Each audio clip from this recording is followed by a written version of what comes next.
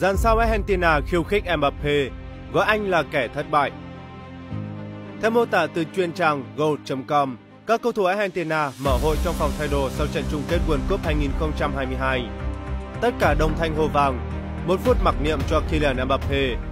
Sau đó, thủ môn Emi Martinez hét lên rằng chiến thắng này dành cho Mbappe, kẻ thất bại. Những cử chỉ và lời nói của Martinez khiến giới mộ điệu vừa bất ngờ lại vừa không. Bất ngờ bởi chính người Garden 30 tuổi chủ động tới an ủi trước giải vàng World Cup 2022 sau khi Argentina thắng luân lưu. Không bất ngờ bởi Emi Martinez vẫn đã có hiểm khích với cựu cậu bái vàng.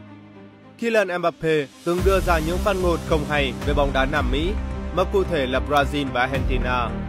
Mbappe cho rằng Brazil và Argentina đã lạc hậu so với các đội tuyển hàng đầu châu Âu vì không thường xuyên trải qua những trận cầu đỉnh cao. Trước trận chung kết, Emi Martinez đốp lại rằng Mbappe không hiểu gì về bóng đá Nam Mỹ. Mbappe bảo rằng trình độ của bóng đá Nam Mỹ thua kém châu Âu vì cậu ấy không thi đấu ở đó. Nếu không có kinh nghiệm, tốt nhất bạn đừng nên bình luận gì cả. Argentina là đội tuyển thuộc đẳng cấp thế giới và cậu ta nên tôn trọng chúng tôi vì điều đó